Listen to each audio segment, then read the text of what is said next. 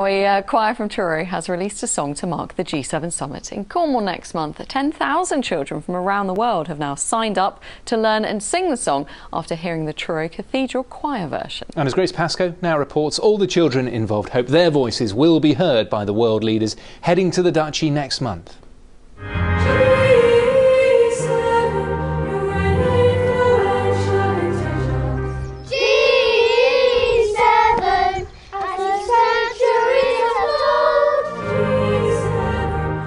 Cathedral's choristers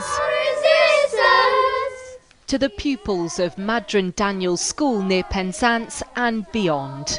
So far, 10,000 children worldwide are preparing for the G7 summit by singing the G7 song.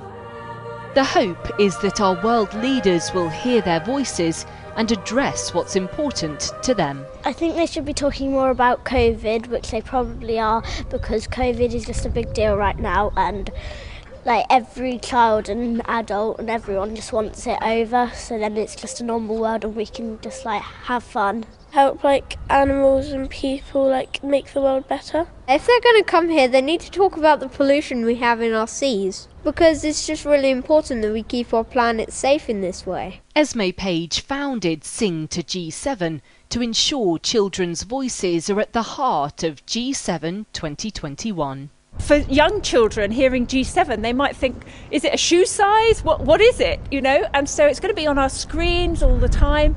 And the idea was, how do we make it relevant to them and how do we get their voices heard? Because after all, the leaders are meeting to decide all kinds of things to do with their future. And we're doing it through song. It's Hope the Song, written by Sir Tim Rice and Peter Hobbs, will bring children from around the world together in a safe way.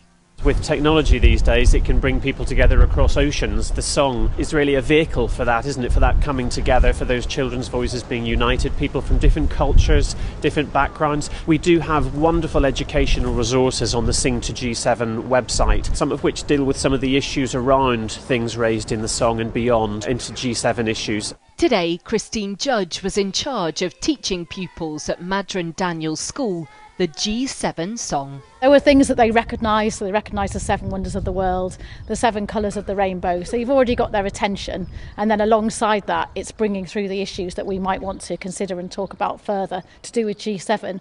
This is an ambitious musical message for world leaders. Let's hope they're in tune when they gather in Carbis Bay. Grace Pascoe, ITV News.